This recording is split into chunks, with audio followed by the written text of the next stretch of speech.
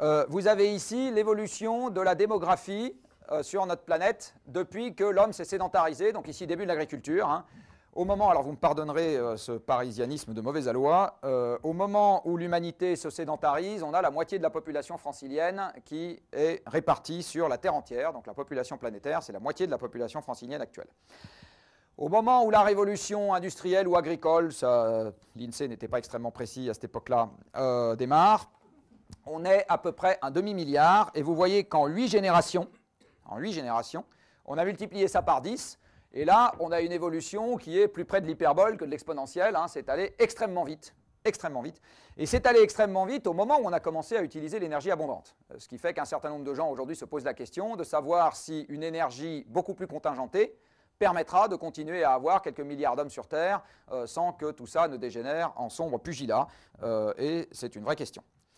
Si je reviens à ma définition de l'énergie, qui est que c'est la pression de l'homme sur l'environnement, voilà comment au premier ordre a évolué la pression de notre espèce sur l'environnement. Elle évolue comme la démographie, elle évolue comme la quantité d'énergie consommée par personne. Donc je compose les deux pour avoir quelque chose qui ressemble peu ou prou à l'évolution de la pression de l'espèce sur l'environnement.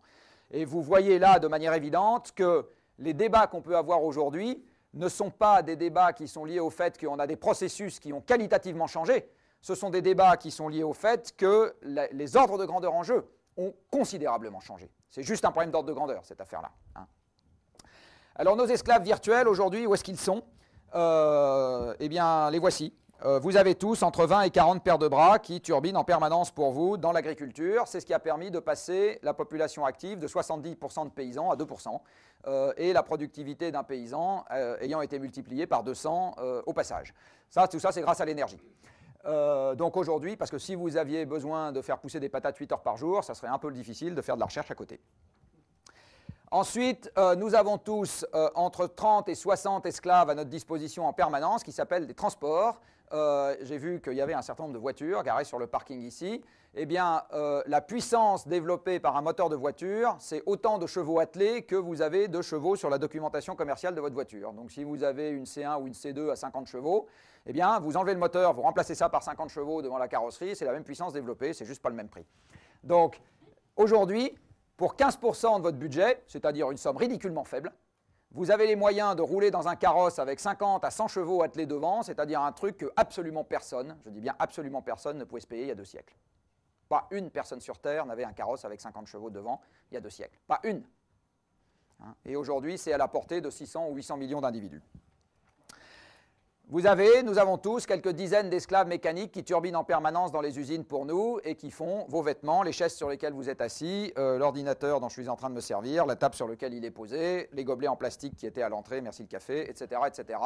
Tout ça, c'est quelques dizaines, en gros entre 50 et 100, ça dépend de la manière de compter, euh, d'esclaves qui turbinent en permanence pour nous, en permanence.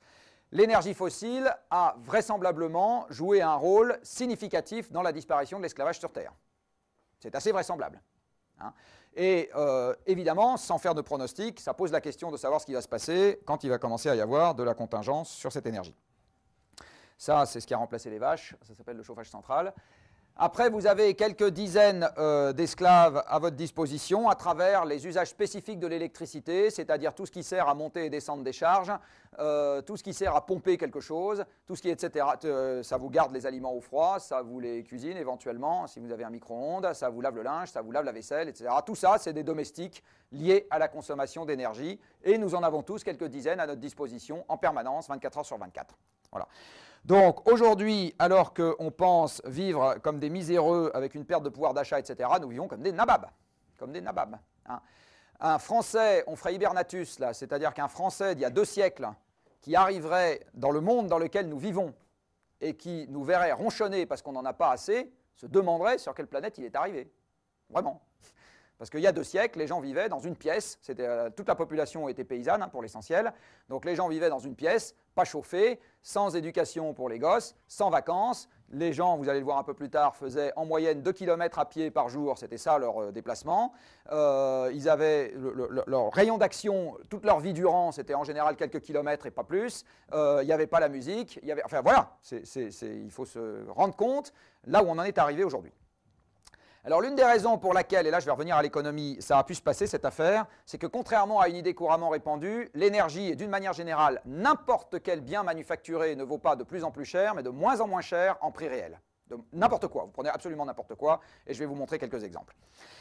Ici, vous avez quelque chose qui va me permettre de démarrer mon raisonnement, qui est le prix déflaté du pétrole depuis qu'on a commencé l'exploitation industrielle du pétrole. Alors vous voyez qu'au début, ça fait quelques zigzags, et puis en 1880 environ, hein, euh, le prix se stabilise aux alentours de 20 dollars le baril, et même un peu plus bas, pendant un siècle. C'est-à-dire que pendant un siècle où on a fait nos villes, fait nos infrastructures, fait nos métiers, fait nos industries, fait la restructuration agricole, etc., le pétrole reste à un prix constant pendant que le pouvoir d'achat par personne, en données réelles, augmente comme ça.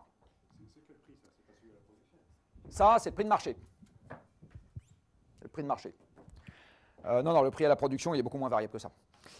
Euh, donc vous, avez euh, le, prix qui reste à peu près constant, pendant que le pouvoir d'achat en dollars constants également du consommateur, lui, il augmente d'un facteur, on va dire, à peu près 20. Euh, depuis 1860. Et si vous prenez euh, l'évolution, c'est aux États-Unis, mais c'est très représentatif des pays occidentaux, si vous prenez l'évolution depuis le début du siècle, on est en gros à un facteur 10. Ça veut dire quoi cette histoire? Ça veut dire que le temps qu'il faut travailler pour se payer un kilowattheure de n'importe quoi a été en gros divisé par 10 en l'espace d'un siècle. Et comme dans le même laps de temps, les gens de ma corporation ont fait un boulot efficace, c'est-à-dire que l'efficacité énergétique euh, a été multipliée en gros par un facteur 2 à 3, ça veut dire que le prix réel de mon esclave énergétique dont je parlais tout à l'heure a été divisé par 30 sur le courant du XXe siècle. N'allez pas chercher ailleurs l'augmentation du pouvoir d'achat, vous l'avez là. N'allez pas la chercher ailleurs, elle est là. Hein. On a acquis la possibilité de remuer 30 fois plus de matière en un siècle que ce qu'on faisait euh, en, 1900. Donc logement plus grand, logement moins cher, voiture plus grosse, voiture plus accessible, etc. etc. Et vous prenez absolument n'importe quel produit manufacturé, son prix réel c'est cassé la gueule, son prix réel c'est cassé la gueule sur le courant du dernier siècle. N'importe lequel. Alors quelques illustrations. Ici, vous avez la dépense énergétique par passager kilomètre pour faire, euh, euh, selon le mode de transport, pardon. C'est la quantité d'énergie qu'il faut consommer, c'est des grammes équivalents pétrole, je suis désolé, ce n'est pas dans le système international, euh, pour faire un kilomètre selon le mode de transport. Eh bien, vous constatez que le sens de l'histoire, c'est d'aller vers la droite. C'est-à-dire qu'avec la baisse du prix réel de l'énergie, se sont démocratisés au fil du temps d'abord la bicyclette, puis le train, puis l'autobus, puis la voiture et l'avion. Hein, ces, usages-là, ce sont des... Or, à chaque fois que vous faites un saut dans la liste que je viens de vous énumérer, eh bien, vous augmentez la quantité d'énergie qu'il faut utiliser pour qu'un passager parcourt un kilomètre. Il est assez vraisemblable que dans un monde contraint sur l'énergie, on fera une partie du chemin inverse. Autre manifestation liée à la baisse du prix réel de l'énergie, l'augmentation du parc de voitures que vous avez ici. Euh, vous voyez, entre l'année de ma naissance, en gros, et aujourd'hui, eh bien, le parc de voitures a été multiplié par un facteur 4. Le parc mondial, hein été multiplié par un facteur 4. Donc ce n'est pas 5%, hein, c'est un facteur 4. Ici, vous avez quelque chose que moi je trouve assez intéressant, même si c'est un peu difficile à lire, c'est en échelle logarithmique. Hein. C'est le nombre de kilomètres faits en moyenne par personne et par jour selon le mode de transport en France depuis 1800. Alors le truc qui est la référence, c'est la marche que vous avez en blanc. Euh, vous voyez, en 1800, une personne fait en moyenne, tout mode confondu, ça c'est le violet, 3 euh, km par personne et par jour, et en fait c'est essentiellement de la marche à pied. Euh, il faut descendre 3 ordres de grandeur en dessous pour trouver le cheval qui est réservé à une micro-élite qui est capable de se déplacer en carriole.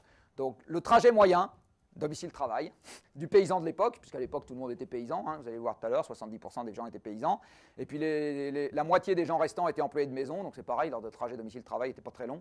Euh, eh bien 3 km par personne et par jour, à pied, c'était ça le déplacement moyen des gens.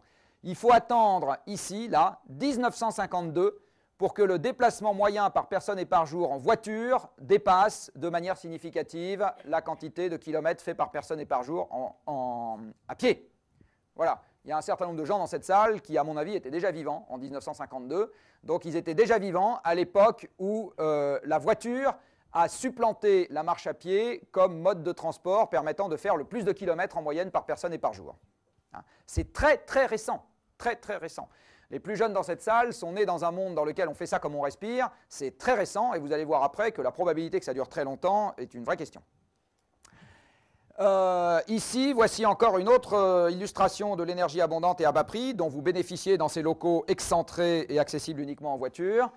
c'est la quantité euh, d'énergie, c'est les émissions de gaz à effet de serre qui sont liées au confort thermique et au déplacement quotidien pour un appartement, mais je peux traduire ça pour des locaux d'activité, c'est exactement pareil, hein, pour un appartement euh, en fonction de sa localisation dans l'île de France, mais ça marche quelle que soit la ville qu'on prend. Eh bien, vous voyez que plus vous allez vers la banlieue lointaine, et plus les émissions liées au chauffage et liées à la mobilité quotidienne sont importantes, euh, pour le chauffage, c'est normal, vous avez de plus en plus d'habitats individuels, donc la surface en contact avec l'extérieur qui en proportion augmente. Et en ce qui concerne les déplacements quotidiens, vous êtes dans des tissus de plus en plus lâches. Donc si vous voulez conserver la fonction d'échange, qui est la fonction urbaine, hein, donc les gens se déplacent, eh bien euh, vous avez de plus en plus d'énergie qui est nécessaire pour assurer cette fonction d'échange. Et ce n'est pas un hasard si les villes américaines qui se sont constituées à un moment où l'énergie était déjà abondante et à bas prix se sont faites avec ce genre de tissu urbain et non pas ce genre de tissu urbain. C'est parce que comme l'énergie valait déjà pas grand-chose, on a fait un truc qui était adapté à une énergie peu chère. Alors évidemment, quand l'énergie va devenir chère, euh, ça pose la question de savoir ce que deviennent les charges de fonctionnement de ce truc-là, et ça pose une question qui, à mon avis, est encore plus emmerdante, qui est de savoir comment vont évoluer les bassins d'emploi, parce que ma théorie, c'est que ça va se contracter. Donc les gens qui sont en deuxième couronne, non seulement ils auront des charges plus élevées, mais ils auront moins de jobs. Et du coup, euh, les engagements euh, de toutes les banques qui leur ont fait des crédits immobiliers iront pas très bien. Euh, ici, euh, vous avez euh, autre chose. ce qu'on est en train de vivre en ce moment, mais j'y reviendrai au moment de la discussion probablement, est à mon avis assez représentatif de ce qui nous attend, mais pour le moment c'est à petite échelle, dans un monde dans lequel on ne prend pas ce genre de contraintes à bras le corps. Hein. explosion du prix de l'énergie, récession économique, et comme le métier des banques c'est de prendre des paris sur l'avenir, le pari ne se matérialise pas et les banques se cassent la gueule. Si on pense que les banques sont la cause du problème actuel, on se trompe. Hein. La cause du problème actuel, c'est l'augmentation de l'endettement c'est-à-dire leur comportement passé, mais aussi l'augmentation très forte du prix de l'énergie qu'on vient, de, vivre. Alors je reviens, mais je vous aurai un petit graphique après pour là-dessus. Donc je reviens à cette affaire-là. Euh, ici, vous avez euh, quelque chose qui bat en brèche une autre idée couramment reçue, qui est que plus vous augmentez la part des services dans l'emploi, et plus votre société est dématérialisée. Eh bien, comme aurait dit un certain personnage célèbre de Queneau, Mon, etc., euh, pas du tout. Ici, vous voyez que quand on augmente la part des services dans l'emploi, on a tendance plutôt à augmenter les émissions de CO2 par personne. Et en tout cas, même si cette corrélation n'est pas parfaite, il y a une chose de sûre, c'est que vous n'avez pas celle-là. Hein. Ben, c'est pareil avec l'énergie. La c'était le CO2. Là, je vous montre l'énergie. Et je vous montre l'énergie sur un ensemble de pays beaucoup plus vaste, puisque vous avez à peu près tous les pays du monde ici. Euh, vous voyez que si on essaye de faire une corrélation, elle est à la hausse. Et en tout cas, une chose est sûre, c'est qu'elle n'est pas à la baisse c'est absolument certain que vous n'avez pas une corrélation comme ça euh, dans ce nuage de points. Donc l'idée qu'il suffit d'augmenter la part de l'emploi dans les services pour, régler notre problème de CO2 et d'énergie, malheureusement, c'est complètement faux, euh, toutes choses égales par ailleurs. Alors la raison à cela, à mon avis, elle est tout bêtement liée à ce graphique. Ici, vous avez l'évolution depuis deux siècles de la part de l'emploi dans chaque secteur, agriculture, industrie et services. La part des agriculteurs, c'était deux tiers en 1800, c'est ce que je vous disais tout à l'heure. Le français ordinaire en 1800 était un paysan. Et euh, le français des services ordinaires, euh, donc le tertiaire à l'époque, c'était pour une personne sur deux employé de maison. Hein, c'était ça, la moitié des, services. Qu'est-ce qui s'est passé? L'énergie abondante et à bas prix a permis de remplacer euh, les paysans pour en faire des ouvriers, puis a permis de remplacer les ouvriers pour en faire des cols blancs. Est-ce que cette affaire-là vous laisse penser une seule seconde que la tertiarisation est un truc qui est indépendant de l'utilisation de l'énergie. Non. On a juste remplacé les fonctions productives par des machines qui consomment de l'énergie. Et euh, ces machines consomment pas mal d'énergie puisque vous avez aujourd'hui beaucoup plus de biens manufacturés à votre disposition que les gens n'en avaient en 1800. Donc tout le monde confond un ratio sur juste un truc qu'on mesure qui est la part de l'emploi dans les services avec la pression globale de l'homme sur son environnement qui a considérablement augmenté, quel que soit l'indicateur que vous preniez depuis cette époque. Tout simplement parce que les machines ne sont pas dans l'emploi. Si on mettait le nombre de machines qui fonctionnent dans la population active, euh, on aurait un euh, diagramme tout à fait différent. Tu vois, s'il faudrait que je fasse ce calcul, ça serait assez rigolo. Et euh, par ailleurs, un autre truc qu'on oublie souvent, c'est qu'un pourcentage, ce n'est pas une valeur absolue. Alors, je vous l'ai montré tout à l'heure pour le charbon. Hein, ce n'est pas parce que le pourcentage du charbon baisse qu'en valeur absolue, la, part du charbon, enfin, la quantité de charbon consommée baisse, elle augmente. Et c'est exactement pareil ici. Ce n'est pas parce qu'en pourcentage, les emplois industriels ont baissé sur les dizaines d'années qui viennent de s'écouler qu'en valeur absolue, on a moins d'emplois industriels aujourd'hui qu'à une époque ancienne. Là, on avait 2 millions d'emplois industriels, là, on en a 6 millions. Pourtant, la part dans l'emploi est à peu près la même. hein. Donc en valeur absolue, et si vous regardez un indicateur qui pourrait être par exemple le nombre d'ouvriers par hectare de sol en France, eh bien cet indicateur a triplé et il n'est pas du tout descendu. Donc le choix de l'indicateur est évidemment déterminant dans la conclusion qu'on tire. L'énergie abondante et à bas prix a aussi permis de faire ça. Euh, là, vous êtes avant-guerre, vous avez encore à peu près un tiers euh, de la population active qui est paysanne. Ici, vous êtes euh, aujourd'hui, vous avez 2% de la population active qui est paysanne, et évidemment, à, à, due concurrence, un tas d'emplois qui servaient les paysans sont partis des campagnes également. Vous voyez que l'énergie, abondante et à bas prix, a structuré un urbanisme bien particulier en vidant les campagnes et en faisant des grandes mégapoles étalées. Ça, c'est viable parce que vous pouvez avoir des très grands bassins d'emploi quand l'énergie vaut cher. Les gens peuvent faire de grandes distances en voiture, ce n'est pas un problème.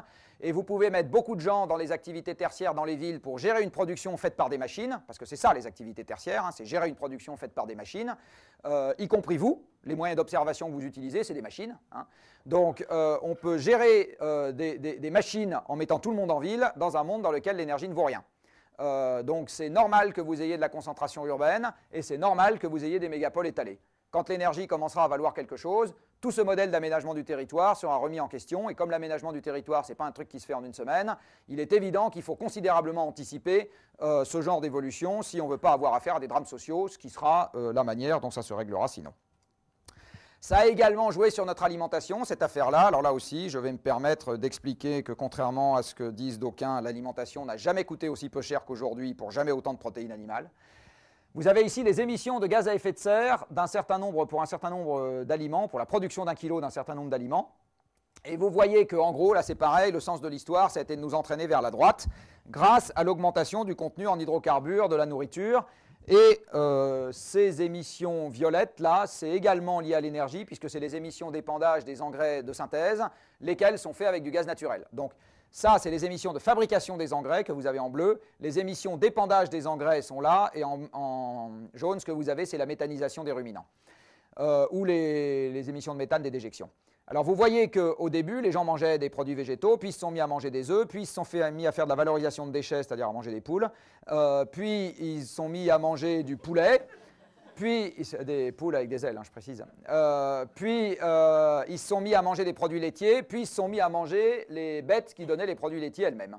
Hein. Donc, le sens de l'histoire, c'est de nous entraîner vers des aliments qui sont de plus en plus riches en gaz à effet de serre et qui nécessitent de plus en plus d'énergie pour être produits. Euh, dans un kilo de crevettes ou un kilo de thon tropical, vous avez entre 1 et 3 litres d'hydrocarbures qui sont inclus dans la pêche ou la production de ces trucs-là. Dans un kilo de bœuf, vous avez un litre d'hydrocarbures qui sont inclus à travers l'agriculture céréalière qu'il a fallu faire en amont pour nourrir les bestiaux. Il faut savoir que la moitié des céréales cultivées dans ce pays vont nourrir du bétail. Hein. Ce n'est pas fait pour être mangé directement. Euh, donc, euh, c'est la mécanisation et l'énergie abondante qui a permis de faire ce genre de choses et qui a permis cette évolution-là, c'est-à-dire de multiplier par 5 la, la, quantité de viande dans la ration quotidienne, avec un prix qui, lui, s'est cassé la gueule.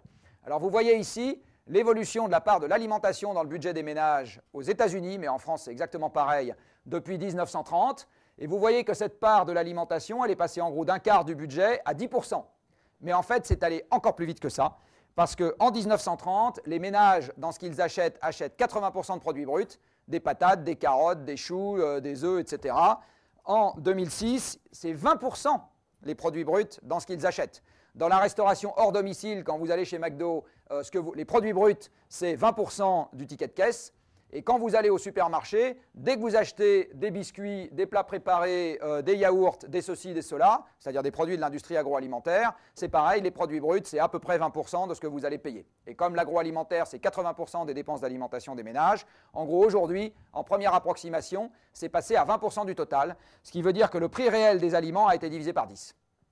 Ça, c'est encore l'énergie abondante et à bas prix. Donc euh, attendez-vous à payer la bouffe plus cher, c'est normal. Il n'y a absolument rien d'étonnant là-dedans pour des raisons physiques. Voilà, ce que je suis en train de vous expliquer depuis une demi-heure, c'est qu'on a tout, bâti tout notre équilibre socio-économique actuel sur un truc d'une simplicité biblique, trouver des trucs qui brûlent sous terre, les faire brûler, grâce à ça avoir les moteurs et la chimie, et les moteurs et la chimie nous ont amené la totalité de ce qui vous entoure. Tout autour de vous est moteur et chimie. Et ça, évidemment, ça a également amené le système socio-économique dans lequel nous vivons, euh, l'urbanisme, la structure des métiers, la retraite à 60 ans, enfin elle est un peu en dessous maintenant, mais ça va remonter, ça c'est évident, euh, les études longues qui vont se raccourcir, euh, le divorce qui va diminuer. Alors pourquoi le divorce va diminuer? Parce que quand les gens divorcent, les ex-conjoints augmentent leur consommation d'énergie de 60% instantanément. Il faut construire deux fois plus de logements, il faut les chauffer, il faut multiplier par deux tous les objets de la vie courante, le lit, la baignoire, la bouilloire électrique, etc. Donc il faut consommer, regardez où on divorce, dans les pays qui consomment plein d'énergie. C'est dans ces pays-là qu'on divorce. Dans les autres pays, on ne divorce pas. Donc euh, dans un monde contraint en énergie, vous allez avoir une contrainte sur le pouvoir d'achat et ça va contraindre le divorce. Voilà. Donc la totalité du monde dans lequel nous vivons est assis sur un truc qui est tout bête et qui s'appelle les combustibles fossiles. Alors tout ça, c'est parfait dans un monde infini. Dans un monde fini, ça pose deux questions. La première, c'est combien de temps est-ce que je peux creuser à vitesse accélérée sous le sol pour faire sortir en quantité croissante ces fichus combustibles fossiles? Et une deuxième question qui est combien de temps est-ce que je peux mettre le sous-produit de cette combustion dans l'atmosphère avant que la modification des échanges énergétiques entre la surface et l'espace que ça induit ne me perturbe le climat d'une manière telle que je trouverai l'expérience extrêmement saumâtre alors je vais traiter beaucoup plus la première que la deuxième question, parce que vu l'endroit où je suis, je considère que la deuxième question, vous en savez déjà pas mal, et si c'est faux, tant pis pour vous, il faut faire un choix. Je vais reprendre euh, ce que je vous disais tout à l'heure sur l'énergie, et voilà comment a évolué la quantité d'énergie totale consommée par l'humanité hors bois depuis un siècle et demi, donc c'est consommation par personne fois nombre de personnes. Tout à l'heure, je vous avais juste montré consommation par personne. Alors vous voyez encore une fois les augmentations qui ont été tellement, tellement vite en ce qui concerne la quantité d'énergie consommée. Entre la génération de mes parents et la génération de mes enfants, il y a quasiment un facteur 10 sur la quantité d'énergie qui a été consommée par les hommes. C'est absolument monstrueux. Et vous voyez que 80% de cette énergie est faite de stock. Alors, enfin, tirée de stock. Alors cette énergie-là est ce qu'on appelle l'énergie primaire. C'est celle qu'on trouve dans la nature. Et euh, là, je suis tout petit peu de nomenclature. Dans la nature, vous ne trouvez que ça. Vous trouvez du charbon, vous trouvez du pétrole, vous trouvez du gaz, vous trouvez des noyaux qui veulent bien se casser en deux, et vous trouvez ce qu'on appelle des énergies renouvelables, euh, donc la combustion du bois, euh, l'eau qui tombe, etc., le vent qui souffle. Vous mettez assez peu de vent qui souffle dans votre voiture et vous utilisez assez peu de charbon brut pour faire tourner une cafetière électrique. Vous, ce que vous allez utiliser, c'est ce qu'on appelle des énergies finales, c'est-à-dire des transformations euh, de ces combustibles pour avoir des trucs qui rentrent dans les machines dont nous nous servons. Alors les machines dont nous nous servons, c'est des chaudières, des voitures, euh, des cafetières électriques, etc. Donc là, on va, trouver, pour ceux qui en utilisent encore, du charbon sous une forme utilisable par des poêles. On va trouver les carburants raffinés, fuel, euh, supercarburant, etc., euh, diesel. On va trouver du gaz purifié, parce que là, quand ça sort, il y a des tas de trucs dedans dont vous n'avez pas envie dans les réseaux de transport. Par exemple, le gaz de la mer du Nord, il peut contenir jusqu'à 10% de CO2 euh, quand il sort, et vous n'avez pas envie de mettre le CO2 dans les tuyaux. Euh, vous allez trouver de l'électricité qui n'existe pas dans la nature, sauf à capter les orages. Euh, alors je vous signale qu'il y a une blague, je suis désolé pour nos amis américains, mais il y a une blague qu'on entend souvent, qui est que quand vous faites un sondage aux États-Unis et que vous demandez aux gens d'où vient, l'électricité, il faudra le faire en France, hein, pour très franc. D'où vient l'électricité La moitié des gens vous disent du mur. Bah oui, avant le mur, il y a eu ça. Avant le mur, il y a eu ça.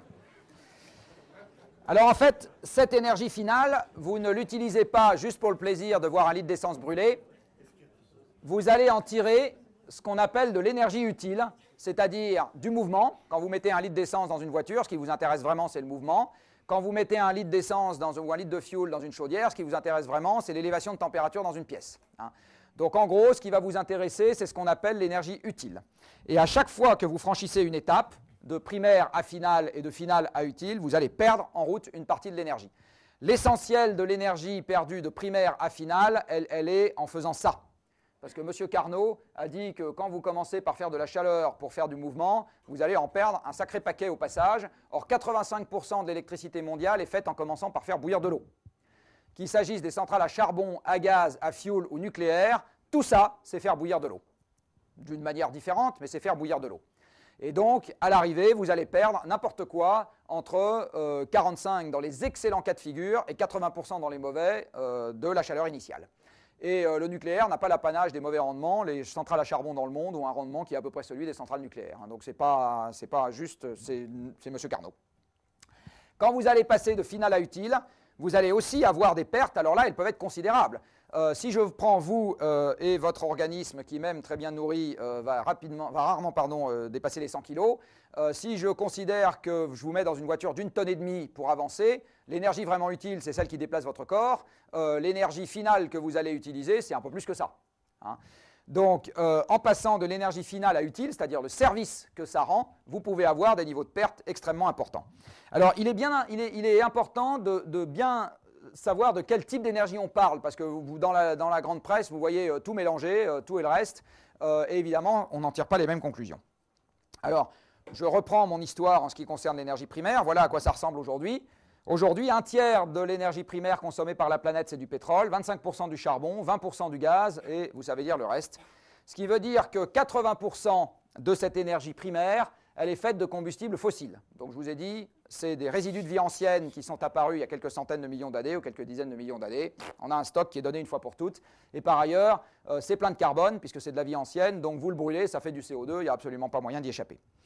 À partir de ça, on va faire de l'énergie finale. Et l'électricité dans cette énergie finale est faite en utilisant des énergies primaires. Donc l'électricité n'est pas une énergie propre. L'électricité est une énergie qui est une aussi bonne idée que la manière de la faire. C'est une aussi bonne idée que la manière de la faire. Il n'existe pas d'électricité propre. Bullshit. C'est pas vrai. Il n'existe pas d'hydrogène propre. Bullshit. C'est pas vrai. Il existe un hydrogène qui est une aussi bonne idée que la manière de le faire. C'est une énergie finale. Vous n'avez pas de réservoir d'hydrogène dans la nature. Hein.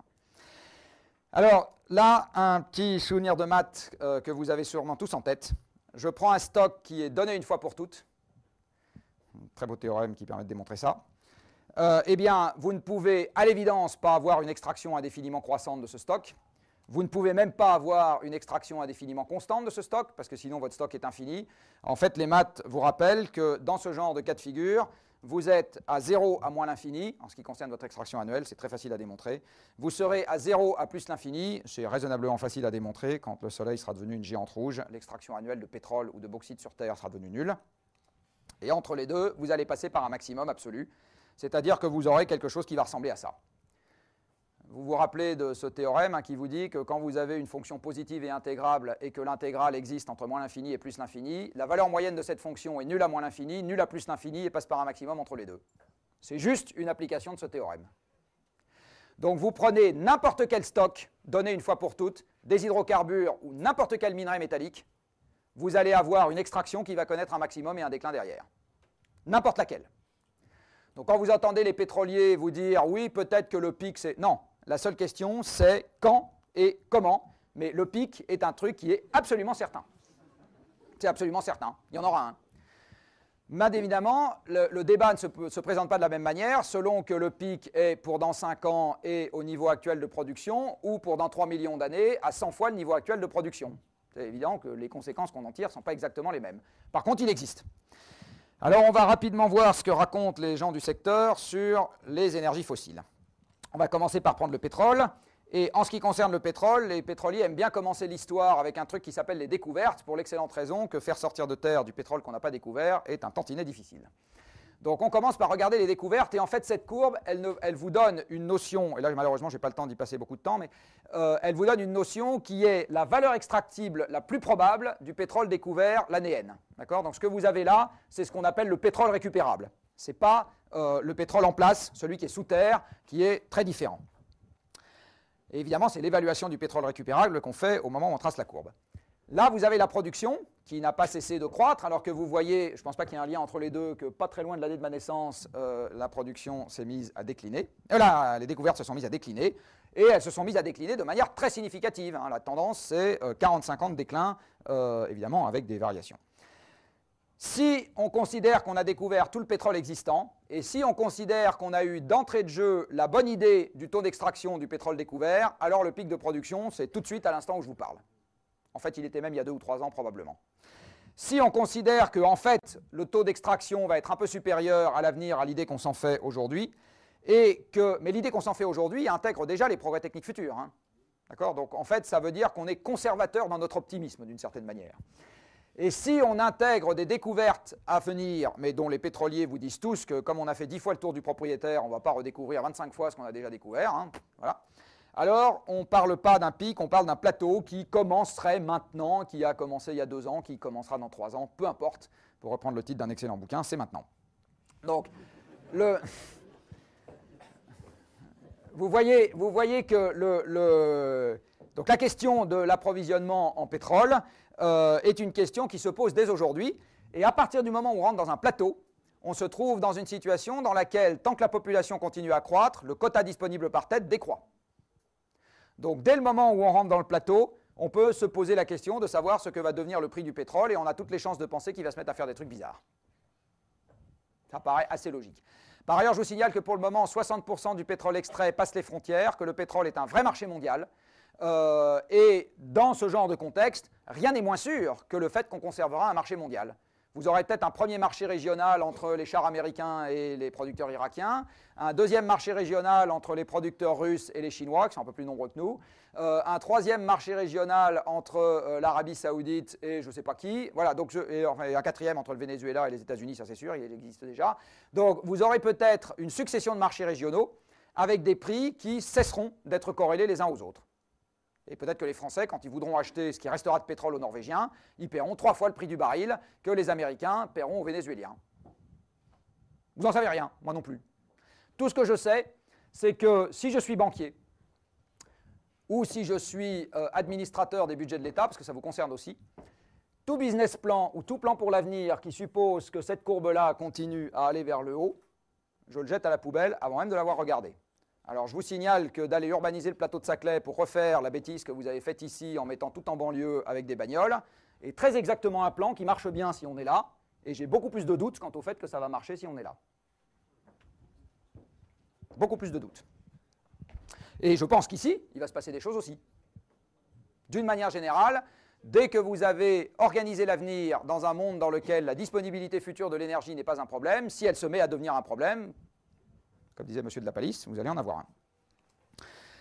Alors, qu'est-ce que les pétroliers nous disent dans cette affaire? Je vais vous faire ici le parcours du discours de Total, euh, parce que je trouve que c'est très instructif. En Monsieur, Desmarais, pardon, en 2004, donc Desmarais est toujours l'actuel président de Total, mais à l'époque il était euh, président plus DG, euh, il avait un discours que je trouvais d'un jésuitisme consommé, qui consistait à tester l'hypothèse sans trop s'avancer. Donc, euh, ce que disait euh, M. Desmarais à l'époque, c'est euh, Moi, je n'ai pas d'idée sur le moment où la production va passer par un pic, sauf qu'il y en avait une quand même, évidemment. et ceux qui en parlent parlent de 2010 à 2030. Et puis alors, il a, regardé les réactions du monde ambiant, il a constaté que la presse s'en foutait comme de l'an 40, donc il s'est dit Je peux aller un peu plus loin.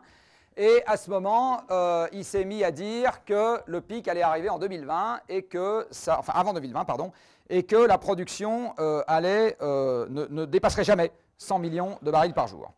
Et puis après, arrive Big Moustache euh, qui dit Moi je pense que, c'est la fougue de la jeunesse, donc il dit Moi je pense que ça sera avant 2015 et que nous n'atteindrons jamais 95 millions de barils par jour.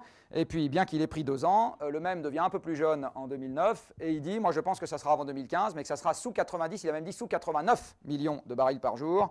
Et en 2008, on était à 87. Donc c'est ce que je vous dis, c'est maintenant. Ce qui va se passer à partir de maintenant, le plus vraisemblable, et euh, c'est le pari que fait euh, l'homme qui a fait ce graphique-là, qui est euh, géologue à l'Institut français du pétrole, c'est qu'à partir de maintenant, la production va zigzagouiller autour d'un plateau. et évidemment, la production va évoluer en fonction de tas de contraintes qui ne sont pas des contraintes purement géologiques. Alors voilà euh, euh, une autre déclaration intéressante. Il y a un monsieur qui s'appelle Claude Mandil, encore un X-Min, puisque j'ai entendu quelqu'un dire ça tout à l'heure à propos de démarrer. Euh, avec l'âge, il s'améliore. donc, Monsieur Claude Mandil dirige l'Agence internationale de l'énergie, et puis au moment où il step down, il fait un truc, Monsieur Claude Mandil, qui est de publier un rapport qu'il envoie à François Fillon. Alors François Fillon devait être plus intéressé par le circuit de la Sarthe ce jour-là que par le rapport qu'il avait reçu, parce que dans ce rapport, il était écrit ceci on est en avril 2008, hein. et il est écrit cela. Nous sommes en avril 2008 avec un baril qui est déjà à plus de 100 dollars. Donc le baril est déjà à plus de 100 dollars, et euh, Mandil dit on pourrait connaître des excursions de prix très importantes. Donc en fait, ce que ce truc dit en creux, ou en tout cas on peut le comprendre comme ça, c'est que même 100 dollars le baril, ce n'est pas du tout un maximum garanti, hein, qu'on pourrait très bien avoir beaucoup plus. Et alors un truc, moi, euh, qui m'interpelle de manière assez significative, voilà la manière dont a évolué le prix du baril euh, depuis juin 2008. Donc c'est monté à des sommets, c'est redescendu à du très bas. On était à 40 dollars le baril. Aujourd'hui, c'est remonté à 60 à 70. Jamais dans l'histoire de l'humanité, le pétrole n'a repris 50% en période de récession comme celle qu'on est en train de connaître actuellement. Jamais. Alors moi, je ne sais pas si c'est un signe. En tout cas, je sais que c'est un point d'interrogation. Il hein, faut vraiment se poser la question de savoir qu'est-ce que c'est que ce truc-là. Et M. Euh, de Margerie euh, a dit il n'y a pas longtemps qu'il n'était pas du tout sûr que le pétrole allait rester sage jusqu'à la fin de la récession actuelle et qu'il était parfaitement possible qu'à cause des contraintes sur la production, on ait de nouveau une explosion sur les prix avant la fin de la récession actuelle, ce qui fait qu'à ce moment, tous les braves gens qui sont en train de s'agiter euh, au gouvernement et ailleurs en disant bientôt la sortie de la crise va nous permettre de... Peut-être que non. Alors, on n'a pas de pétrole, il n'y a qu'à utiliser du gaz. Eh bien, euh, même motif, même punition. Le maximum des découvertes annuelles de gaz, c'était il y a 40 ans, et le maximum de la production annuelle de gaz, c'est dans 10 ans, on va dire euh, plus ou moins 5 ans. Il faut savoir qu'actuellement, euh, l'Europe, en tant que zone géographique, donc je mets la Norvège dedans, produit 30% de son pétrole, et que cette production baisse de 10% par an et 40% euh, de son gaz qui euh, va plafonner très bientôt et ensuite descendre. Et quand la production européenne de gaz descendra, on pourra descendre dans la rue pour gueuler contre les augmentations de prix et le fait que M. Poutine est un salaud. on pourra gueuler tant qu'on veut, ça ne, créera pas de gaz dans les gisements de la mer du Nord. Hein. Ça n'en créera pas une goutte. Est-ce qu'il euh, y a un lien entre le prix du pétrole et le prix de l'économie? Bah, Vous avez compris que c'était ma thèse, euh, mais ce n'est pas ma thèse parce que j'ai trouvé ça tout seul dans mon coin, c'est ma thèse parce qu'on observe des trucs comme ça. Ici, vous avez, alors ce n'est pas la même année de référence, mais vous avez euh, le, qu'est-ce que je veux dire, le prix du baril en dollars constants, vous voyez, c'est l'évolution que je vous ai montré tout à l'heure, et en grisé, vous avez les moments où l'économie mondiale a ralenti et les pays occidentaux ont connu des récessions eh bien, vous voyez qu'il n'existe pas un hockey sur le prix du pétrole qui ne soit pas suivi par soit un ralentissement économique, soit une récession franche. C'est ce qu'on est en train de vivre en ce moment. Et c'est parfaitement logique puisque euh, le prix du pétrole pilote le prix de toutes les énergies. Le prix de l'énergie, c'est le prix de la transformation. Donc il est normal que si vous avez une hausse forte du prix du pétrole, vous ayez un freinage de la transformation et donc un ralentissement économique, voire une récession. Alors maintenant, vous mettez bout à bout ce truc-là et ce que je vous ai raconté sur le plafonnement de l'offre pétrolière et le fait qu'on a construit un monde qui, en termes de structure de métier, d'urbanisme, etc., je ne vous refais pas la, chanson, est totalement dépendant de l'énergie abondante et à bas prix. Et posez-vous la question de savoir ce que devient la stabilité socio-économique dans le monde dans lequel on va vivre pendant les 20 ans qui viennent. Je pense qu'on sous-estime gravement les risques que cette affaire euh, fait peser au-dessus de nos têtes. Autre illustration de la même chose, ici vous avez la mise en perspective du prix du baril aux États-Unis et du taux de chômage l'année qui suit. Alors encore une fois, corrélation ne veut pas dire cause, mais c'est cohérent avec une explication dans laquelle l'énergie fait l'économie, etc. Là, les États-Unis sont autosuffisants en pétrole. Là, ils commencent à en importer sur les marchés mondiaux de plus en plus. Et vous voyez qu'on n'écrit pas exactement la même histoire en ce qui concerne la corrélation de la courbe euh, des deux côtés. Alors, plus de pétrole et plus de gaz, mettons-nous au charbon, même motif, même punition. Le charbon est un stock fini, les fougères du carbonifère ne repousseront pas une deuxième fois. Euh, et donc, le pic charbon, même en tirant sur le charbon tant qu'on peut, c'est une génération à partir de maintenant, une génération et demie. Hein. Donc il ne faut pas croire que euh, tout ça est un problème pour les générations futures, tout ça est un problème pour les gens qui sont dans cette salle. C'est un problème pour les générations actuelles. actuelles. C'est absolument pas un problème pour les générations futures. Ça aussi, c'est n'importe quoi. Hein. C'est un problème pour les générations actuelles. Donc à chaque fois que vous voyez un journaliste employer le terme génération future, s'il vous plaît, engueulez-le. Dites-lui qu'il se met le doigt dans l'œil et qu'il est en train de parler d'une échéance qui est lointaine, alors que l'échéance, je répète, c'est maintenant. Qu'est-ce que ça va donner, le jeu géopolitique de cette affaire, dans un monde contraint sur la partie amont? Vous avez ici euh, un graphique qui vous donne les réserves prouvées agrégées de charbon, de gaz et de pétrole dans le monde. Alors le pétrole, normalement vous y arrivez, oil, le gaz est là et le charbon est là. Et surprise, qui est-ce qui a les plus grosses réserves de carbone souterrain dans le monde? C'est notre ami Obama. Et ceci explique cela. C'est à cause de ça que les États-Unis ont toujours été extrêmement réticents à s'engager dans quoi que ce soit en ce qui, en ce qui concerne la Convention climat, et vous verrez qu'ils ne sont pas les seuls. Après, on va trouver l'ami Poutine, qui a la bonne idée d'avoir les premières réserves de gaz de la planète, euh, et qui a un peu de pétrole quand même, pas mal, et qui a les deuxièmes réserves de charbon de la planète. Après, on va trouver nos amis indiens et chinois qui ont les troisième et quatrième réserves de charbon de la planète. Après, on va trouver l'ami Ahmadinejad, euh, qui, en gaz et pétrole agrégé, a les premières réserves du Moyen-Orient. Donc, vous comprenez qu'on n'a pas très envie d'être méchant avec lui. Euh, ensuite, vous avez l'Arabie Saoudite, qui a les premières réserves de pétrole de la planète, sauf si le Canada, on comptabilise les sables bitumineux du Canada, auquel cas, il, joue à peu près dans la même cour que l'Arabie saoudite. Mais vous voyez qu'en termes de carbone global, ça ne change pas considérablement la donne. Donc ça veut dire que le graphique que je vous ai montré juste avant, hein, ce n'est pas d'augmenter euh, l'air sous une de ces courbes de 5% ou de 3% qui va changer considérablement la forme de la courbe. Hein, ça ne va pas changer grand-chose. Euh, donc je reviens à mon, machin. Et alors, euh, regardons qui s'est intéressé au protocole de Kyoto, ce qui va faire la transition. Deux pays dans, le peloton de tête là, ont fait une ratification tardive. La Russie, qui a été le dernier pays du paquet qui a permis l'entrée en vigueur du protocole à le ratifier en 2005. Le protocole date de 97, donc ils ont quand même pris leur temps, hein, nos amis russes. Euh, et l'Australie qui l'a ratifié à la faveur de la dernière élection législative qui a changé la majorité au pouvoir. Ça, c'était au début de l'année ou à la fin de l'année dernière. Tous les autres, ils ont dit qu'ils feraient rien.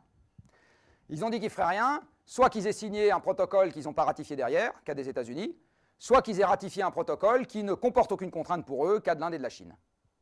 D'accord? Donc tout cela, ils ont dit pour le moment qu'ils ne feraient rien. Donc l'essentiel du carbone restant sous terre est détenu par des pays qui, pour le moment, ont refusé de prendre le moindre engagement sur la limitation de leurs émissions propres. Alors évidemment, ça concerne quand même les pays qui vont importer ces combustibles et qui vont s'en servir, sauf que le charbon, aujourd'hui, c'est 5% du charbon qui franchit les frontières. Le charbon est une énergie domestique, ce n'est pas une énergie de marché international. Donc ça pose évidemment la question de savoir ce que tous ces braves gens vont faire de leur charbon domestique, qui va être consommé pour l'essentiel de manière domestique. Alors là, ils ont trois options. La première est de dire, pauvre petit Français, champion du camembert et du champagne, on a pitié de vous, euh, parce que dans un climat qui sera celui de l'Algérie, faire du camembert et du champagne, ce sera dur.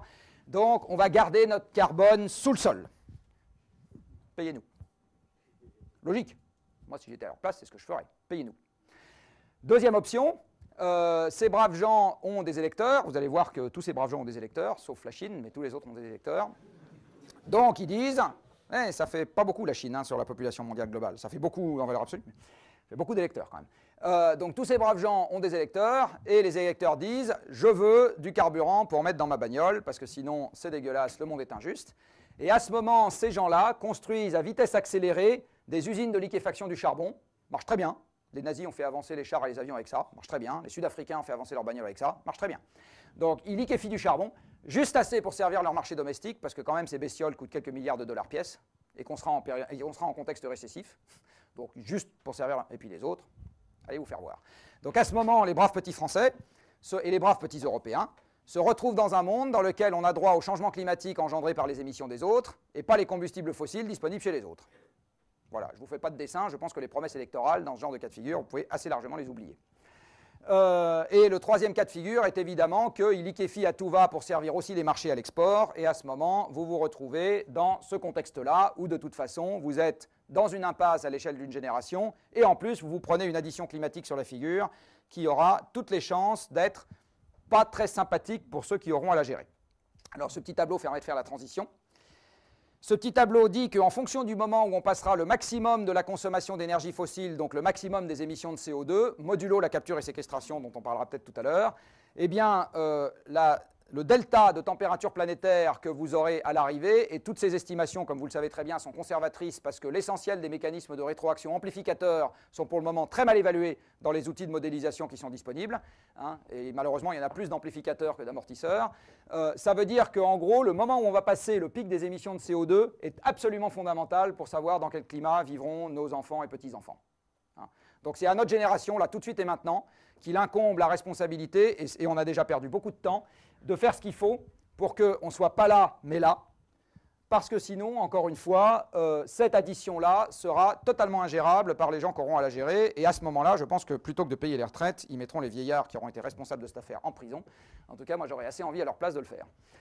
Si on veut se limiter à euh, le pic en 2000 ou 2010, ça veut dire qu'on a encore le droit d'envoyer dans l'atmosphère avec un flux décroissant, j'insiste, avec un flux décroissant, la quantité de carbone contenue dans les réserves prouvées de gaz et de pétrole, donc ce n'est même pas la totalité de ce qui est extractible, et c'est tout pas de charbon. C'est un monde sans charbon. Ça veut dire qu'un des enjeux dans cette affaire, donc que faire contre la contrainte carbone? Eh bien, on a au moins une idée assez claire, c'est se débarrasser le plus vite possible des centrales à charbon sans dispositif de capture et de séquestration. L'électricité coûtera ce qu'elle coûtera, mais c'est le truc à faire à vitesse accélérée. Voilà, donc on va passer euh, à l'aspect aval de cette histoire. Euh, je ne veux pas en entendre un seul me dire vivement 2015, je vous préviens. Et euh, on va retrouver donc ici la perturbation, bon, je, fonctionnement du système climatique, vous connaissez mieux que moi. Donc on va, je vais juste vous parler de la perturbation du fonctionnement climatique qui est induite par ça, entre autres choses, c'est-à-dire les émissions humaines de CO2. Et vous voyez que les émissions humaines de CO2, comme la consommation d'énergie, croissent quand il y a croissance économique et quand il y a des petits accidents de parcours, elles s'arrêtent. Du reste, 2009 va être une très bonne année pour les émissions de gaz à effet de serre. Très bonne année. Je prends les paris avec qui veut. 2009 euh, va être une excellente année. Quand vous avez une très grosse récession, ce qui s'est passé dans les pays de l'Est après la chute du mur de Berlin, vous avez eu une contraction de plusieurs dizaines de pourcents des émissions de CO2. Alors comme ce truc-là ne peut pas grimper jusqu'au ciel, mais va se mettre à baisser à cause de la contrainte sur les combustibles fossiles, je suis en train de vous rappeler une fois de plus que si ce n'est pas nous qui le gérons de manière volontaire, et ça sera très désagréable, c'est des trucs encore pires qui s'en chargeront à notre place. Hein. ce CO2, où est-ce qu'il va? Ça, vous le connaissez probablement. Ce CO2 va dans l'océan qui l'acidifie pour un tiers dans les écosystèmes continentaux qui sont susceptibles d'en recracher une partie plus tard, et pour la moitié dans l'atmosphère actuellement. Ce qui veut dire que c'est le, seuil de ce qu'on doit faire, l'effort minimum de ce qu'on doit faire, c'est diviser les émissions mondiales de CO2 par deux à ZAP, aussi vite que possible. Et en fait, comme c'est un système dynamique, il faut maintenant même les diviser par trois. Mais je vous montrerai tout à l'heure ce que ça signifie de les diviser par deux, vous allez comprendre que c'est quand même pas une partie de plaisir.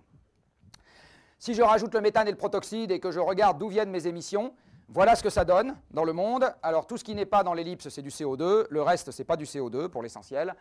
Et ici, vous allez trouver les centrales à charbon et les raffineries et les centrales à gaz. Euh, rappelez-vous que les centrales à charbon, à elles toutes seules, c'est 20% du CO2 mondial, c'est-à-dire plus que les moyens de transport qui en font 17. Donc les centrales à charbon, le charbon, voici l'ennemi, je le répète. En France, on n'en est pas assez conscient parce qu'on n'a pas d'exploitation charbonnière, parce qu'on n'a pas d'industrie charbonnière, mais euh, le charbon, voici l'ennemi, encore une fois, j'insiste vraiment là-dessus. Euh, les transports, etc. Alors, ce que vous constatez, c'est que rien de ce que vous faites dans une journée ordinaire n'échappe aux émissions de gaz à effet de serre. Donc j'en reviens à la question posée, que faire face à la contrainte carbone? Ben, Il va falloir toucher à tout. Il n'existe pas de solution à ce truc-là qui soit une solution détachable qu'on peut confier à un ingénieur en lui disant démerde-toi du problème dans ton coin, moi je ne veux pas en entendre parler, je veux rester assis dans mon canapé et que tu me trouves une solution. C'est pas possible. Ça n'est pas possible. Donc ce truc-là ne se règle qu'en touchant à tout. Et si c'est la solution involontaire qui s'applique, de type guerre, euh, récession massive, etc., de toute façon ça touchera à tout. Donc, euh, encore une fois, penser que qui que ce soit dans cette salle serait en dehors de l'effort qu'il va falloir faire pour régler ce problème est un leurre. Moi compris, hein, c'est un leurre. Ce n'est pas comme ça que les choses doivent se passer. Je vous rappelle simplement, parce que vous le savez mieux que moi, euh, qu'une simulation climatique commence par un scénario qui est fait sur l'évolution de l'humanité à l'avenir, et donc que vous n'avez pas de résultat qui soit indépendant de l'hypothèse que vous avez mis en entrée. Hein. Ça, c'est quelque chose qu'on oublie souvent. La deuxième chose qu'on oublie souvent, c'est que comme on est sur des processus dans lesquels on a pris la boucle de rétroaction à l'intérieur du système, mais pas le contrôle de cohérence sur l'hypothèse en entrée, toutes les simulations sont faites à l'échelle du siècle, sans qu'on se pose une seule seconde la question de savoir si à un moment ou à un autre, la dérive climatique observée reste compatible ou non avec une humanité de 8, puis 9, puis 10, puis 11 milliards de bons hommes qui se mettent à consommer de plus en plus. Parce que mon sentiment, c'est que si vous changez la température planétaire de 5 degrés en un siècle, vous n'aurez pas 12 milliards de bons hommes à l'arrivée. Vous en aurez beaucoup moins que ça. Hein. Alors ça, ça a un effet majeur, que vous connaissez peut-être certains d'entre vous, c'est qu'à partir du moment où toutes les simulations vont jusqu'à l'échéance, ça accrédite l'idée dans le grand public qu'il ne peut rien se passer de catastrophique avant le 31 décembre 2099. Réfléchissez-y bien, c'est exactement ça qui se passe. Hein. Donc le grand public s'imagine que ce truc-là, c'est éventuellement un problème pour... Ouh là, ouh, c'est loin, hein, même avec les lunettes à flelou. Donc c'est quelque chose qui est vraiment, vraiment très important à garder en mémoire. Alors ça peut paraître idiot, hein. Euh, moi il m'a fallu un certain temps pour m'en rendre compte, que le simple fait, encore une fois, de donner toujours les simulations jusqu'à l'échéance, accrédite de ce seul fait l'idée que vous n'avez pas de catastrophe avant. Qui bien évidemment est à mon avis quelque chose de complètement faux. Et pour s'en convaincre, ça c'est aussi quelque chose que vous connaissez sûrement, euh, il suffit de se rappeler que le delta de température moyenne entre le dernier maximum glaciaire et aujourd'hui, c'est juste 5 degrés de moyenne planétaire, et c'est quelque chose qui a mis 10 000 ans euh, à ce, enfin, le réchauffement qui a permis de passer du dernier maximum glaciaire à aujourd'hui s'est effectué en 10 000 ans, en changeant de manière absolument massive la géographie planétaire et les conditions de vie sur Terre. Donc mon sentiment, c'est que le même genre de transition appliquée à une humanité sédentaire de 7 milliards de bons hommes, parce que là il y avait 5 millions de sédentaires, 7 hein, milliards de bons hommes en un siècle, ça se termine en bain de sang. C'est mon sentiment. Euh, c'est-à-dire que le déplacement des conditions favorables ira considérablement trop vite pour que des sociétés sédentaires et repues s'adaptent à ce genre de changement dans la joie et la bonne humeur. Donc ça se terminera en pugilat. Hein. Donc quand on donne le prix Nobel de la paix au GIEC, je pense qu'on ne fait pas d'erreur de casting. Hein. Vraiment, il s'agit vraiment de ça. Bon, quelques petits trucs que vous connaissez aussi, ça chauffera pas de la même manière partout, je vais aller vite. Euh, ça chauffera pas. Alors un truc aussi que, sur lequel moi j'aime beaucoup insister, c'est que le cycle de l'eau, qui est plus déterminant pour les écosystèmes installés que la variation de température en général, va aussi subir des modifications. Alors ça, je le dis juste pour rappeler que la presse parle toujours de la température et très peu de la modification du cycle de l'eau, alors que le facteur limitant pour une bonne partie des bestioles et des plantes, c'est ça, beaucoup plus euh, que, le, que, le, que, la température. et il faut presque aller encore un cran au-delà parce qu'il y a une bonne partie des plantes pour lesquelles ce qui va vraiment compter, c'est moins l'eau qui tombe que l'eau qui reste dans le sol. Donc en fait, c'est l'évolution de l'humidité des sols qui est le truc qui peut aussi être euh, limitant. Alors là, vous voyez par exemple que tout le pourtour du bassin méditerranéen verrait les sols s'assécher, verrait les précipitations diminuer en toute saison. Donc l'Union pour la Méditerranée, on a au moins un thème à lui trouver, c'est de combattre la sécheresse, et ça va nous convaincre, et ça va nous concerner, nous aussi. Nous aussi. Voilà, après, il y a des tas d'autres trucs qui vont arriver, euh, avec évidemment des ampleurs qui sont scénario dépendantes. Euh, il va se passer des choses sur les écosystèmes installés, il va se passer des choses sur les agents pathogènes. Plus on chauffe le bouillon de culture et plus les petites bestioles aiment. Il va se passer des choses sur le niveau de l'océan, avec là aussi des discontinuités qui pourraient se produire et qui sont mal, euh, mais des discontinuités à la hausse. Il va y avoir euh, une élévation des températures, c'est évident, et euh, retenez que si la température planétaire s'élève de 3 degrés, on a en Europe un été 2003 qui devient un été à peu près normal. À peu près normal, ça veut dire qu'un été sur deux est plus chaud, hein, c'est le sommet de la gaussienne. Hein.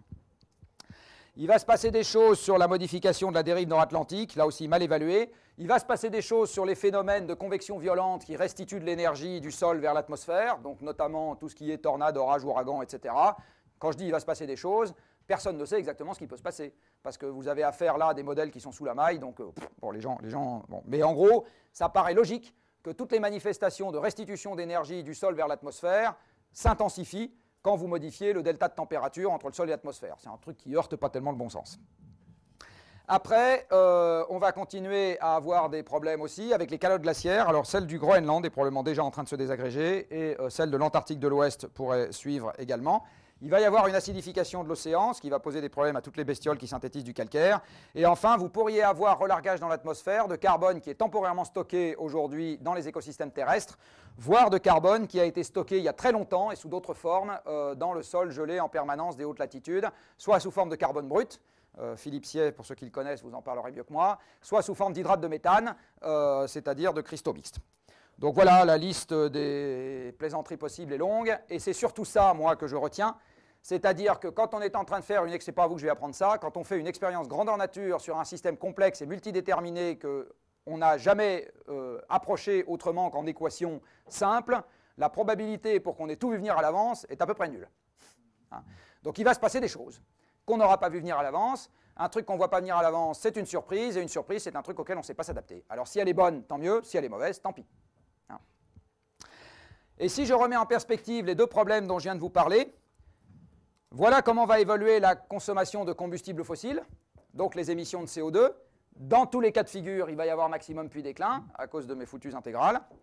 Et ce n'est pas au moment où je passe le maximum des émissions que je stabilise le thermostat, c'est-à-dire que je stabilise la quantité de CO2, le stock atmosphérique de CO2.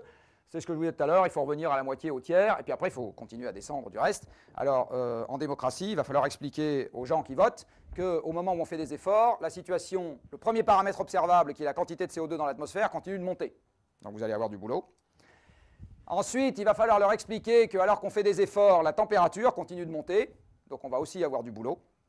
Et enfin, il va falloir leur expliquer qu'au moment où on fait des efforts, la dérive océanique continue d'augmenter, donc on va avoir encore plus de boulot. Alors maintenant, si ça, c'est le, fruit de la limitation du stock et non pas de notre volonté, ça ne veut pas dire qu'on a un problème qui en a évacué un autre, ça veut dire qu'on a deux emmerdements sur les bras au même moment, c'est-à-dire à la fois la diminution de l'énergie pas chère et facile d'emploi, c'est-à-dire ce qui permet de modifier l'environnement à notre profit, et une augmentation du problème environnemental à gérer. Bonjour l'ambiance, ça risque de ne pas être très sympathique pour ceux qui devront gérer ça. Et ceux qui devront gérer ça, les plus jeunes dans la salle en font probablement partie.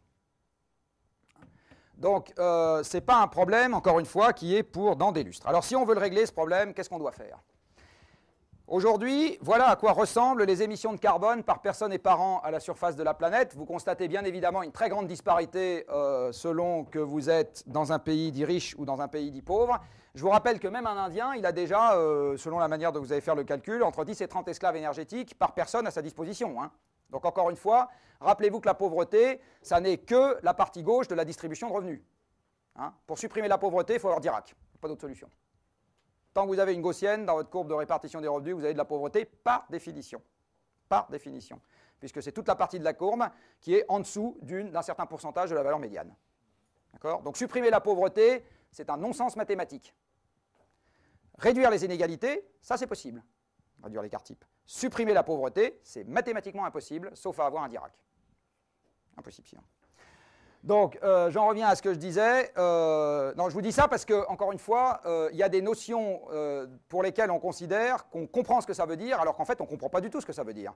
Là, c'est pareil. Moi, j'ai vécu jusqu'à 40 ans et quelques sans savoir ce que c'était que la définition de la pauvreté. Quand vous regardez ce que c'est comme définition, vous vous rendez compte qu'il y a des affirmations qui ne tiennent pas la route. Ça ne veut pas dire qu'il ne faut pas vivre dans un monde plus, plus, plus juste. C'est pas ça que je suis en train de dire. Hein.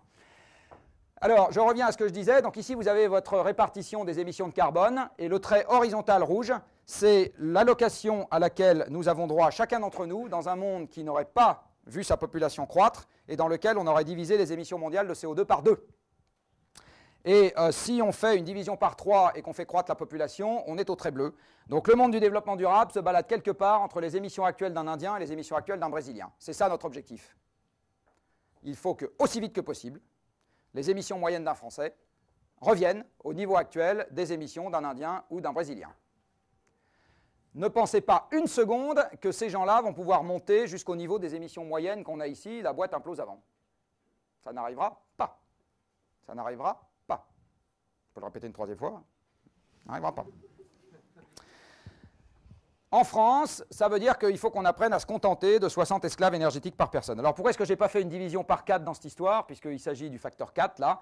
Bah Parce que j'ai 30 esclaves énergétiques qui viennent du nucléaire et de l'hydraulique, ceux-là je me les garde, ils ne font pas de CO2. Et les 120 qui restent, j'étais à 150 au début, les 120 qui restent, je les divise par 4, ça m'en fait 30. Donc j'avais 30 sans CO2, plus 30 avec CO2, ça m'en fait 60. Hein. Si je veux à l'occasion me débarrasser aussi du nucléaire, j'en ai plus que 30. Question de choix. Alors, ce quota, et là vous allez voir que même vous, vous êtes over quota, euh, avec quoi est-ce qu'il est atteint bah, Il est atteint dès que vous montez dans un avion, je crois savoir que les chercheurs montent de temps en temps dans un avion. Dès que vous avez utilisé quelques milliers de kilowattheures euh, pour faire une expérience, par exemple, parce que pour avoir fait le bilan carbone du CEA à Saclay, je sais que de certaines expériences consomment des quantités d'électricité non négligeables. Dès que vous avez acheté un microscope électronique, alors là, même pas la peine d'en parler, euh, vous avez complètement explosé votre quota, mais quand vous avez acheté un ordinateur et demi, vous avez aussi explosé votre quota. Hein. Pour faire ça, vous émettez à peu près 300 kg de carbone. C'est toute l'électricité faite au combustible fossile euh, dans les pays dans lesquels vous fabriquez les semi-conducteurs. C'est toute l'énergie consommée pour faire la chimie de spécialité et la chimie de base, enfin dans l'autre sens plutôt, qui vont permettre de faire les composants de l'ordinateur. C'est toute l'énergie qu'on a dépensée pour fabriquer les usines, transporter les pièces, etc., euh, etc. Donc ça, c'est 300 kg de combustible fossile. Donc la civilisation Internet dématérialisée, je refais référence à Zazie, et vous savez ce qu'elle disait, euh, c'est pas vrai. C'est absolument pas vrai. Euh, vous construisez 4 mètres carrés de logement, vous avez épuisé votre quota.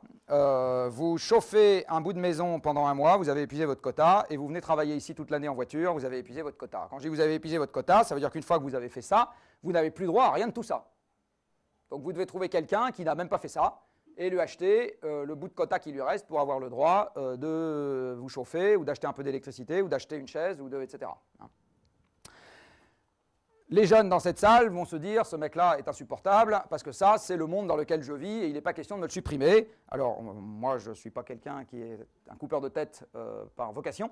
Par contre, je constate simplement que tous ces trucs-là sont extrêmement récents. C'est-à-dire qu'il y a 50 ans, il n'y avait pas une chambre à coucher par enfant, il n'y avait pas l'avion démocratique, il n'y avait pas la voiture démocratique, il n'y avait pas les supermarchés démocratiques, et euh, il n'y avait pas le chauffage central dans toutes les maisons. Et il n'y avait pas l'électricité dans toutes les maisons non plus.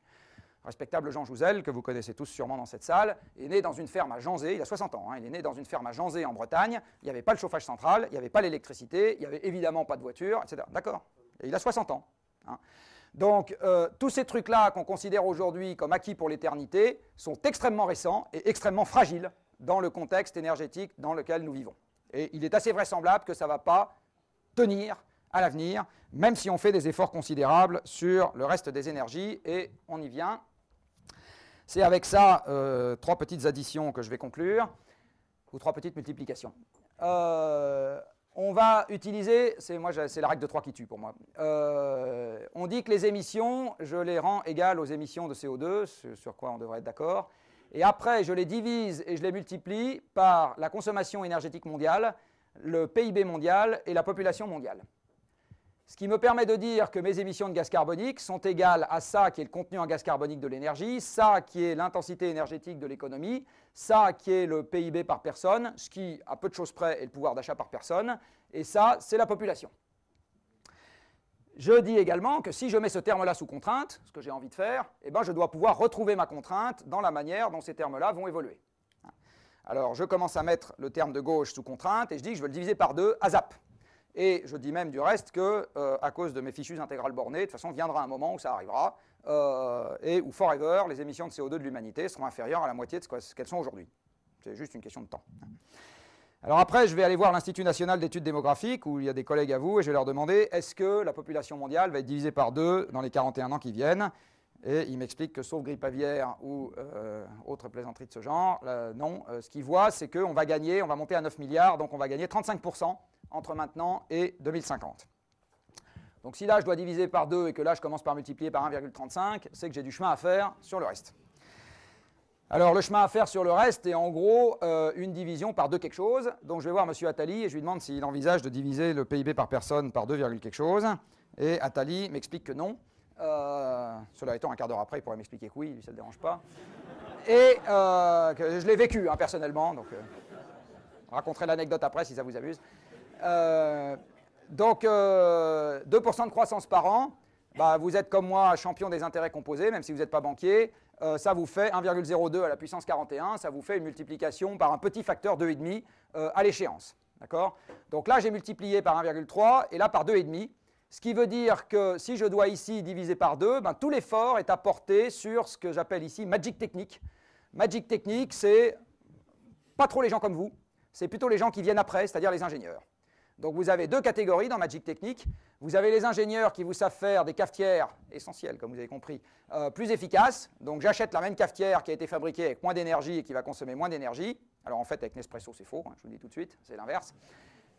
Mais partout, hein. tous les usages consomment de plus en plus d'énergie dans un monde dans lequel le prix réel de l'énergie baisse, hein, partout.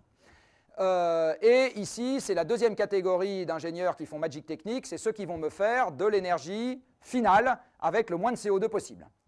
Donc ils vont me remplacer mes centrales à charbon par des centrales nucléaires et des éoliennes, ils vont me remplacer mes centrales à charbon par des centrales à gaz, ils vont me remplacer mes centrales à charbon par des centrales à charbon avec capture et séquestration, etc. C'est ça qu'ils vont me faire. Hein.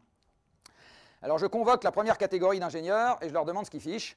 Et ils me disent, bah monsieur, depuis 35 ans, on a réussi à gagner 30%. C'est-à-dire qu'aujourd'hui, pour faire un dollar de PIB, il faut consommer 30% d'énergie en moins qu'il y a 35 ans. Alors je dis, ça c'est vachement bien, et je considère qu'un point par an en, ordre de grandeur, faites-moi grâce de la composition des intérêts, je prolonge et je dis qu'on va gagner 40% sur les 40 ans qui viennent. Là, on a eu deux chocs pétroliers, on a fait beaucoup plus d'efforts que ceux qu'on a fait euh, les années qui viennent de s'écouler. Donc on en a fait hein, des efforts sur les, économies. Donc je fais une prolongation d'un truc un peu ambitieux.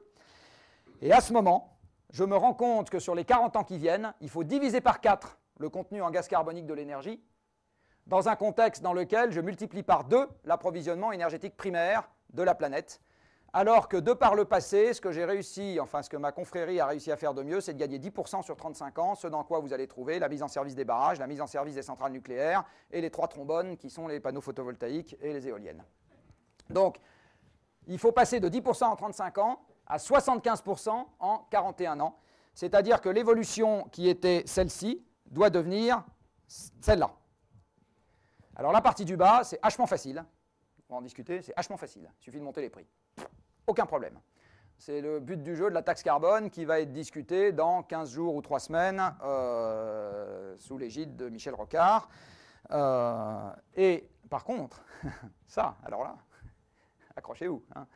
Euh, accrochez-vous parce que si vous voulez faire ça sur les renouvelables, voilà la situation de départ sur les renouvelables. Alors les renouvelables, retenez une règle simple, il y en a d'autant moins sur la planète que le journal français en parle plus. Assez bonne, approximation. Hein. Si vous voulez énoncer ça de manière plus rigoureuse, c'est leur importance dans le bilan énergétique mondial est inversement proportionnelle à leur pagination dans le journal français. Si vous demandez aux Français, ce que j'ai vu dans un sondage dans Les Échos, excellent journal au demeurant il n'y a pas très longtemps, c'est quoi les énergies renouvelables pour vous? Deux tiers des Français vous disent c'est les éoliennes et les panneaux photovoltaïques. Bah non, les énergies renouvelables dans le monde, c'est le bois et c'est l'hydroélectricité.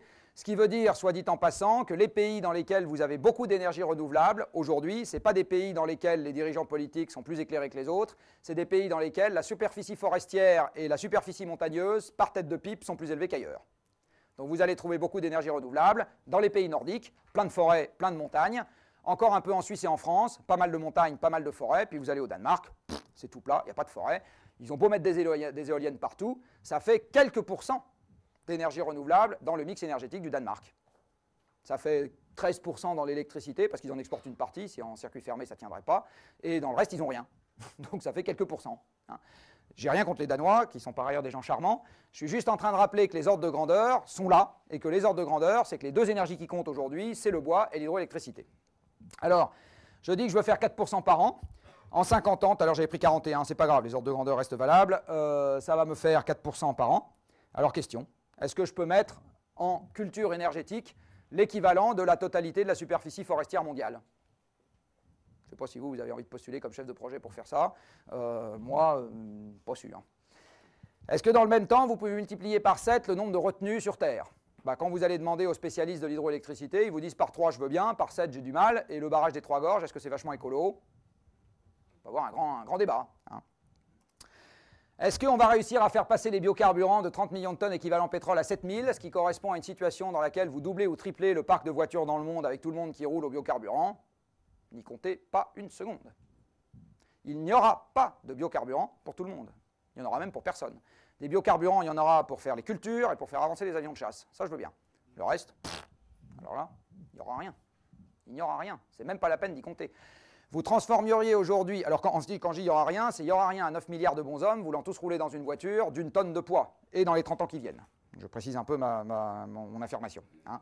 Mais euh, si on ne divise pas par 10 préalablement le parc de voitures dans le monde en divisant également le poids de chaque voiture par 3, c'est même pas la peine d'en parler des biocarburants. Hein. Aujourd'hui, vous convertiriez la totalité de la production céréalière mondiale en biocarburants, que ça vous ferait le quart du pétrole que l'humanité consomme. Forget it. Est-ce que l'éolien, qui fait aujourd'hui 20 millions de tonnes équivalent pétrole dans un monde qui en consomme 12 000, va nous tirer d'affaires dans les 20 ou 30 ans qui, qui, viennent pardon? Non. Vous pouvez mettre tous les milliards que vous voulez dans l'éolien demain matin, et M. Borloo peut faire des grands sauts en disant que c'est un truc génial, ça ne changera strictement rien à l'évolution du monde et de nos misérables existences dans les 30 ans qui viennent. Rien. Ça changera un peu la vie des fabricants d'éoliennes, ça changera un peu la vie tant qu'il y en a des gens qui installent des éoliennes dans leurs champs et qui permettent à leur mère de toucher de la taxe professionnelle. Je dis tant qu'il y en a parce qu'il est question de la supprimer, la taxe. Euh, maintenant, quand vous demandez aux élus locaux si pour deux fois le montant de la taxe, ils prendraient un abattoir à cochon plutôt que l'éolienne, ils vous disent tous oui. Hein. Le test. Donc, euh, donc le, mais c'est normal, ça, ça me gêne pas. donc le, c'est juste pour vous dire qu'aujourd'hui, tout l'argent qu'on met dans l'éolien, on ferait bien mieux de le mettre. Il y a des tas d'autres trucs qu'on ferait, on ferait mieux de le mettre, à commencer par financer gratos de la capture et séquestration chez les Chinois. Euh, ça serait vachement mieux euh, à la fois pour les emplois français et pour, euh, et pour votre avenir climatique et le mien. Hein. Et c'est pareil, est-ce que le photovoltaïque, qui aujourd'hui est essentiellement une machine à capter des subventions avec 15% de taux de rendement sur capitaux investis, donc on aurait vraiment tort de se priver, est un truc qui va sauver la planète Non. Mettons quelques milliards dans la recherche, alors ça je suis tout à fait pour, pour franchir des sauts qui sont encore à franchir, parce que tous les gens qui travaillent là-dedans le disent, ça ne sert à rien aujourd'hui de financer du kilowattheure à 50 centimes le tarif de rachat. On est en train de perdre notre temps. Et comme le journal fait un papier là-dessus, de même qu'il fait un papier là-dessus ou un papier sur une centrale à charbon, ça accrédite l'idée extrêmement délétère dans la population dans son ensemble qu'on est en train de répondre aux problèmes dans les bons ordres de grandeur. Or, comme on est dans une course contre la montre, ça c'est quelque chose qui est vraiment très grave. On aurait 50 ans devant nous, on s'en foutrait. On verrait que ça ne marche pas, on fera autre chose. Sauf que là, on ne les a pas. Est-ce qu'on peut recourir au nucléaire? Je imagine que c'est un vrai sujet de débat chez vous, alors je vais vous donner mes conclusions à moi. Ma conclusion à moi, c'est que la presse euh, dit des bêtises dans beaucoup de domaines, y compris les conséquences sanitaires de ce truc-là.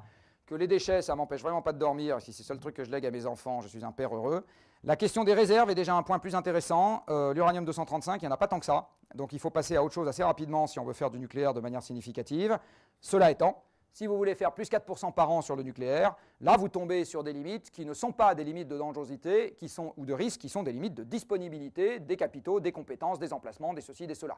Donc je ne crois pas non plus que le nucléaire va nous tirer d'affaire de cette histoire. Ce que je crois, c'est que là où on en a et où il marche à peu près, ça serait dommage de s'en passer. Je pense qu'il y a un certain nombre d'endroits où on peut en rajouter plus sans que ça m'empêche de dormir, mais l'idée que c'est juste ça qui va nous tirer d'affaire est une idée à laquelle je ne souscris pas. Alors maintenant, je vous propose une autre équation de Kaya. On va un peu changer les termes. Vous voyez, ça, on divise toujours par deux. La population, on va considérer qu'on tue personne pour le moment, donc elle augmente toujours autant. Fin du PIB, qui croît. Donc le PIB est à croissance nulle. Sauf qu'aujourd'hui, le PIB mondial par personne est aux alentours de 8 000 dollars par habitant et par an, et le vôtre est aux alentours de 30 000 dollars par habitant et par an. Donc si j'égalise les conditions de vie sur Terre, je divise vos revenus par 5. On est d'accord? Vous irez vous expliquer avec les autres. c'est ça que je fais. À ce moment, si je suis en prolongation tendancielle sur l'efficacité énergétique, je peux me contenter de juste 25% sur le gain en CO2 par unité d'énergie. Et ça, je veux bien. D'accord? Ça, physiquement, pour moi, c'est un truc qui peut, à la rigueur, tenir la route. Mais vous voyez que ça veut dire que ce terme-là, dans les pays euh, industrialisés actuels, il va faire quelque chose qui est à 180 degrés de ce que les lecteurs réclament aujourd'hui. Alors comme je pense que de toute façon c'est ça qui va se passer, euh, pour partie, je fais partie des gens qui considèrent qu'il est urgent d'abandonner cet indicateur qui, comme je vous l'ai dit au début de mon exposé, ne représente plus rien. Et quand vous vous dotez d'un indicateur de progrès, ce n'est pas pour le voir descendre. Il y a un truc qui humainement ne se gère pas, c'est d'avoir un indicateur de progrès qui descend. Hein. si l'indicateur de progrès pour vous, c'est le nombre de papiers publiés, que vous en aviez 50 l'année dernière, et puis que l'année prochaine, vous en aurez plus que 45 parce que vous en avez retiré 5, vous n'avez pas considéré que c'est euh, significatif, enfin que c'est représentatif d'une évolution qui vous plaît. Hein. Donc, euh, si vous vous dotez d'un indicateur du progrès, vous avez envie qu'il croisse.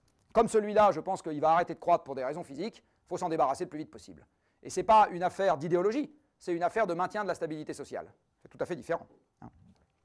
Parce que si on n'arrive pas à régler le problème de nous-mêmes, il y a des tas de solutions qui peuvent s'appliquer. Vous voyez, si on n'arrive pas, si on a vraiment la contrainte là et qu'on n'arrive pas à l'avoir là ou là, eh bien, euh, vous avez des tas de trucs qui se chargeront très bien euh, de réguler l'affaire sur le PIB par personne euh, ou sur la taille de la population. Voilà, vous savez, on a énormément de solutions à notre disposition pour ce genre de choses. Donc, la solution existera. C'est juste que ou elle nous plaira, ou elle ne nous plaira pas, ou plus exactement, ou ça sera un peu d'effort, ou ça en sera de manière considérable. Et avant d'ouvrir les questions, quelques éléments juste sur le rôle des médias dans cette démocratie euh, dans laquelle nous vivons, parce que l'essentiel des émetteurs et des consommateurs d'énergie aujourd'hui vivent dans des démocraties. Là, tout ce que je suis en train de vous cercler, c'est des démocraties dans le monde. Euh, ça, c'est essentiellement des démocraties. Bon, vous avez la Birmanie, enfin Myanmar, qui n'en est pas tellement une. Euh, ici, vous en avez une qui n'est pas... Mais l'essentiel des émissions mondiales se passe en démocratie. Et en démocratie, vous avez quelques règles du jeu qu'il est important de garder à l'esprit. La première, c'est que les gens votent, quel que soit leur niveau de connaissance préalable. C'est normal, ça fait partie des règles du jeu. Hein. Or, quand vous regardez comment les gens s'informent, vous vous rendez compte que le genre d'exercice auquel on est en train de se livrer en ce moment concerne une fraction minoritaire de l'électorat. Ce que je suis en train de faire là, euh, si je le fais une fois par semaine, ce qui est à peu près mon rythme, si je le fais pendant 40 ans, et vous avez compris que ce n'est pas sûr que je vive aussi vieux, euh, et que si on est à peu près 100 par conférence, qui est ma moyenne, euh, là vous êtes un peu plus nombreux, mais il y a également des fois où les gens le sont un peu moins, eh bien à la fin de ma, mon existence, j'aurais touché 200 000 personnes. Pour la France, il y a à peu près 30 millions d'électeurs. 200 000 personnes. 0,5%, même pas 0,3% de la population. Ridicule. Après, je, pardon, je peux faire un bouquin. Euh, on vous a dit que je m'étais essayé à l'exercice un certain nombre de fois. Et là aussi, je peux vous dire, alors c'est peut-être quelques dizaines de milliers de lecteurs que je vais avoir. Euh, les derniers ont été vendus à 10-15 000 exemplaires. Et s'ils ont chacun deux ou trois lecteurs, euh, mais il y en a aussi des gens, je suis sûr qu'il y a des gens qui l'achètent et qui s'en servent pour caler d'autres livres. à ce moment, mais c'est très bien, ça fait du stock de carbone sur étagère. À ce moment, ça vous fait, vous voyez, vous êtes un à deux ordres de grandeur en dessous du public qu'on peut toucher en faisant ce genre d'exercice. Et en plus, évidemment, vous avez un recouvrement très fort entre les deux. Après, on peut faire un site internet, j'en ai fait un aussi, on peut avoir quelques milliers de visiteurs par jour, vous pouvez faire le calcul sur l'année, sauf que ça recouvre les deux publics précédents et qu'en plus là-dedans, c'est toujours les mêmes qui reviennent une fois, deux fois, trois fois, 25 fois dans l'année. Hein. Donc là, on n'arrive pas à décoller de la centaine de milliers de personnes concernées. Si vous voulez décoller de la centaine de milliers de personnes concernées, il faut aller taper là-dedans. Donc en gros, vous êtes obligé de faire confiance à un relais qui s'appelle les journalistes et qui vont permettre à cette information qui est là, et que vous détenez, vous, par exemple, sur la question du fonctionnement de la machine climatique, à cette population qui vote et qui se trouve là. Et encore, toute la population qui vote ne se trouve pas là, puisqu'il y a une partie des gens dans ce pays qui ne lisent jamais le moindre journal. Et quand ils vont sur Internet, c'est pour regarder YouTube. Donc euh, vous avez une partie des gens qui votent, et tout ce qu'ils ont comme information, c'est ce que leur a raconté le voisin de la voisine du copain de machine qui lui a lu quelque chose. C'est tout. Et si vous avez joué au téléphone arabe dans votre jeunesse, vous vous rappelez ce que ça donne comme résultat. Alors le journal, c'est quoi? Le journal, c'est la quadrature du cercle, euh, puisque vous avez ici, euh, en gros, le dilemme dans lequel ils sont en permanence, même quand ils sont de bonne volonté et même quand vous avez affaire à des gens compétents. Hein. Voilà, ils sont tout le temps là-dedans. Alors, pas de chance, L'environnement, c'est que des trucs très compliqués. On a parlé là de physique et de mathématiques, et encore à mon niveau, pas au vôtre. Euh, donc, euh, il y a des tas de trucs qui sont extrêmement compliqués, et eux, ils ne savent pas traiter le compliqué. Et les problèmes dont je viens de parler, heureusement, vous ne pouviez pas sortir sans être impoli, parce que sinon, vous l'auriez fait. Euh, donc, c'est monstrueux, mais quand vous êtes seul derrière votre écran de télévision, vous zappez. D'accord? Sauf que les médias ne doivent pas faire fuir ceux qui leur amènent leur pognon. D'accord? Parce que l'audience d'un média, c'est son pognon. C'est même son pognon quand il s'agit d'une chaîne publique, parce que son audience conditionne l'idée que le législateur se fait du nombre de bonhommes qui doivent travailler dedans, donc le budget. Donc vous êtes tenu par ce genre de choses. Alors pour vous montrer à quel point c'est de la quadrature du cercle, j'ai pris l'exemple du climat, mais l'énergie ça serait pareil. Allez, je prends le nombre de pages que j'ai vu citer dans le dernier rapport du GIEC. Donc euh, je dis j'ai une matière première qui fait au moins 200 000, j'ai vérifié qu'il n'y avait pas trop de recoupement. Donc il y avait au moins 200 000 pages de matière primaire, c'est-à-dire de littérature scientifique. À mon avis, Hervé Le m'a dit qu'il pensait que c'était trois ou quatre fois ça. Vous allez en faire un tome du rapport du GIEC, c'est-à-dire 800 pages. Euh, je peux vous assurer qu'il n'y a pas un journaliste dans ce pays qui l'a lu in extenso, il n'y a pas un élu dans ce pays qui l'a lu in extenso, il n'y a pas un responsable économique dans ce pays qui l'a lu in extenso. Pas un. Pas un. Si vous me le trouvez, je vous paye trois bouteilles de champagne, même 30. Oui, sauf que là, déjà, on est passé de 200 000 pages à 800, c'est-à-dire que c'est comme si on comprimait 100 heures de cours en 24 minutes. Et le résumé pour décideur revient à comprimer ça en 36 secondes. Donc c'est imparfait. Par construction, vous ne pouvez pas faire autrement. Donc tous les gens qui disent le résumé pour décideur ne reflète pas telle nuance, bah, évidemment, vous voulez faire autrement. Si vous voulez vous taper les nuances, eh ben, vous vous engouffrez ça euh, et vous y passez votre vie. Et quand vous allez passer à un article dans le journal, vous allez passer à une demi-page, une page dans les bons cas de figure, c'est-à-dire que vous aurez à résumer tout ça en euh, deux secondes. En gros, c'est passer de 100 heures de cours à deux secondes. Imaginez que vous soyez journaliste dans cette salle, quoi que vous ayez pensé de ce que je vous ai raconté, la commande de votre rédac chef, c'est d'en faire un quart de page dans le journal, vous allez mettre quoi? Vous allez mettre quoi? Hein, Je pourrais faire l'exercice de vous demander de rédiger un quart de page, je ramasse les copies à la fin et je regarde ce que... C'est évident que vous êtes dans une situation impossible. C'est impossible, totalement impossible. Hein. Alors là, je suis un peu caricatural. De temps en temps, vous avez des émissions de plateau. On n'est plus sur une demi-page dans le journal. On est sur un quart d'heure. Mais enfin, encore une fois, 100 heures de cours en un quart d'heure, ça reste un truc qui... Euh, Hein, pas facile. Après, euh, vous avez également un problème de sélection de l'information. Alors là aussi, je vais me livrer un petit quiz. Qui a déjà lu dans le journal un article disant du mal des juges? Juste trois? Un article disant déjà du mal Qui a déjà lu un article disant du mal des juges dans le journal. Non, je ne dis pas de tous.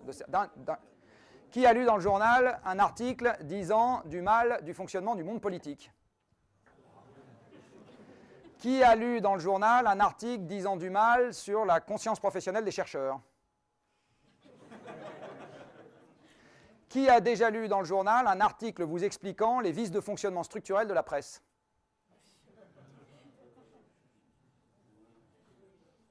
Cinq, et je suis sûr que c'était ni dans Libération, ni dans Le Monde, ni aux 20h de TF1. Bon, donc, euh, en gros, pour l'essentiel des gens qui s'informent, vous ne savez pas comment l'information arrive à vous. Vous ne le savez pas. Hein. Vous ne savez absolument pas pourquoi le rédac chef a décidé de couvrir ceci plutôt que cela. Alors moi je le sais, c'est parce que les communiqués de presse qui sont arrivés ce matin parlaient d'un nombre restreint de sujets et qu'il a pioché dedans et pas dans le reste.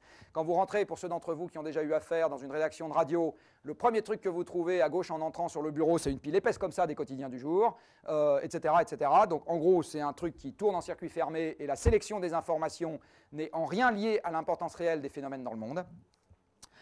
Vous savez pas pourquoi on est allé interroger machin plutôt que truc. Alors ça aussi, moi je le sais, parce que machin était disponible et pas truc. Ou parce que machin était déjà dans le carnet d'adresse du journaliste et pas truc. Ou parce que, etc. Ça ne veut pas dire que machin soit mauvais.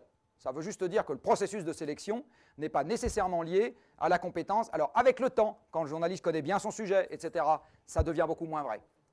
Et encore, et encore, vous avez des journalistes qui ont leur tête et ils gardent leur tête. Euh, vous ne savez pas non plus si euh, la personne qui a causé pendant trois quarts d'heure, euh, ce qui va être restitué de ses propos, c'est quelque chose qui ressemble à ce qu'elle a dit ou si c'est totalement différent. Vous ne le savez pas. La majeure partie du temps, le journaliste fait honnêtement son travail, donc il veut vraiment restituer, mais de temps en temps, c'est un sujet neuf, donc il restitue de travers. Et de temps en temps, il a le mec dans le nez pour Dieu sait quelle raison, où il cherche à lui faire dire des trucs que l'autre n'a pas envie de dire, et à ce moment, il vous fait dire des trucs que vous ne pensez pas. Vous ne savez pas si euh, vous avez, c'est évident que les journalistes en ont, tous, on en a tous. Hein. Euh, quand on cause 20 minutes devant une caméra et qu'il en passe 15 secondes au JT, vous ne savez pas pourquoi on a sélectionné ceci plutôt que cela. Pas.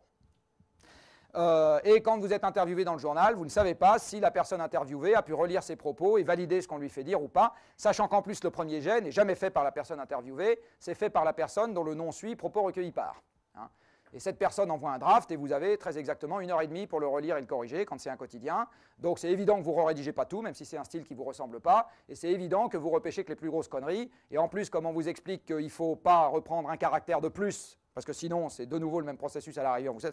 Donc voilà, donc ce que je suis en train de vous dire, c'est que l'information qui parvient au grand public parvient au terme d'un processus qui, dans, allez, on va dire dans bon nombre des cas, fonctionne à peu près correctement, sauf que le grand public ne sait pas faire la distinction entre ce qui a bien fonctionné et ce qui a mal fonctionné. En gros, lui, il ne sait pas quand est-ce que le processus a bien marché et quand est-ce qu'il a bien marché, euh, mal marché. Et enfin, euh, je vous disais tout à l'heure, euh, le fait de ne pas faire fuir le public est un truc important, parce que le public conditionne les recettes publicitaires pour ceux qui en ont, et les ventes au numéro pour ceux qui en ont. Donc le dernier truc dont vous avez envie dans un canard, c'est de faire fuir vos lecteurs. Et ça, ça vous explique un certain nombre d'autres choses, dont par exemple le fait que Allègre continue à avoir des micros qui sont tendus vers lui, parce que la polémique est un truc qui fait vendre. Discutez avec n'importe quel rédac chef, il vous le dira. Donc ce qui fait l'audience médiatique d'Allègre n'est pas la question du fond, c'est la question de la forme. S'il n'y avait pas Allègre, il y aurait quelqu'un d'autre pour occuper sa place. Pas à cause d'Allègre, à cause de la manière dont le système fonctionne. Hein. Voilà, j'ai, euh, comme d'habitude, menti euh, dans les grandes largeurs, j'ai largement dépassé mon temps, mais vous aurez compris que le débat qui est posé à travers la contrainte carbone est de savoir si, avec l'évolution qu'on a suivie maintenant, on va faire ça, ce que les femmes dans la salle diront que les hommes font tous les jours à partir de 19h, ou si on va faire ça, c'est-à-dire rester là où on est arrivé, parce que le génie humain arrivera à préserver un niveau de confort matériel qui, est, euh, qui ressemble beaucoup à celui que nous avons aujourd'hui. Et vous comprenez donc que quand on parle de la contrainte carbone, on n'est pas en train de parler d'un truc anecdotique, en tout cas c'était mon ambition, euh, c'était juste de vous faire comprendre qu'on n'est pas en train de parler d'un truc anecdotique, qu'on peut déléguer à quelqu'un dans un coin en lui disant de s'en occuper pendant que les autres s'en occupent pas. C'est pas vrai, c'est un truc qui nous concernera tous et qui va même piloter de manière extrêmement structurante les quelques dizaines d'années qui vont euh, commencer à partir de maintenant, comme ça a piloté de manière extrêmement structurante ce qui s'est passé sur le dernier siècle et demi. Voilà,